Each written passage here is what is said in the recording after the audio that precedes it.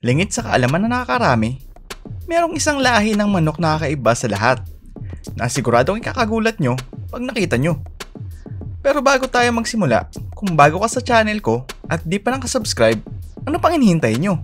I-click mo na yung subscribe button, pati na rin yung notification bell para lagi kang updated sa mga videos na ilalabas ko weekly na siguradong kapupulutan mo ng mga bagong kaalaman.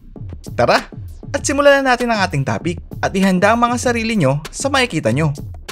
Ang breed ng manok na ito ay kakaiba. Ang tawag dito sa breed ng manok na ito ay Dong Tao. Ang Dong Tao ay makikita lamang sa Vietnam, specifically sa Co Quai Chau District, mga 30 kilometers galing Hanoi, ang capital ng Vietnam. Ang mga manok na ito ay tinatawag na dragon chicken. Sa kadahilanang ang mga paa nila ay mistulang paa ng mga dragon. Ang kanilang mga paa ay malaki kumpara sa normal na mga manok at para bang may mga kaliskis na pula. Sila ang may pinakamalaking mga paa sa lahi ng mga manok na nabubuhay dito sa ating mundo. Ang mga lalaking dongtaw ay may makulay na mga balahibo.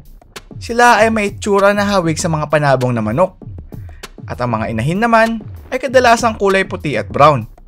Ang mga manok na ito ay dating pinaparami para ihain sa mga royal family at mandarins sa bansang Vietnam.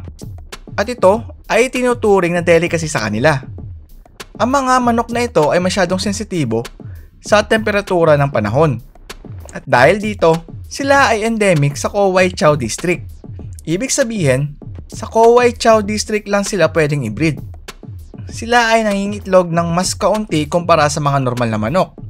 At madalas nila itong nababasag nang dahil sa kanilang body structure at laki ng mga paa nito.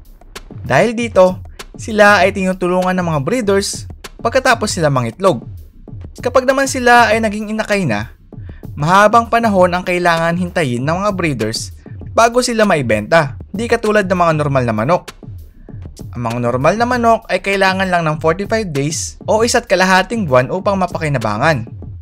Ang dong tao ay kailangan ng 8 buwan upang maibenta. Sila ay napakamahal sa merkado. Ang isang pares ng dong tao ay nagkakahalaga lang naman ng $2,500 sa merkado. Ang mahal, di ba? Para lang sa isang pares na manok. Ito ay dahil sa taas ng demand at baba ng supply dahil sa hirap ng pagbibreed sa kanila. Kagaya ng mga nasabi ko kanina, sila ay masyadong sensitibo sa temperatura at konting taas o baba lang ng temperatura ay malaki na ang epekto sa kanila. Konti mang itlog, madalas nababasag ang mga itlog nila dahil sa kanilang mga malaking paa at sa tagal nilang kailangang alagaan bago maibenta. Ang Dong Tao Fit ay makikita lamang sa mga mamahaling restaurant sa Vietnam at hindi makikita sa mga normal na restaurant. Sa ating mga bago lang na nakakaalam sa kanila, tingin natin ay mga kadiris lang nila lang. Pero kahit ganoon ang tingin natin, itinuturing naman silang ginto na mga matagal nang nakakaalam sa kanila. Isang lesson lang ang aking mababahagi sa inyo dito sa video na ito.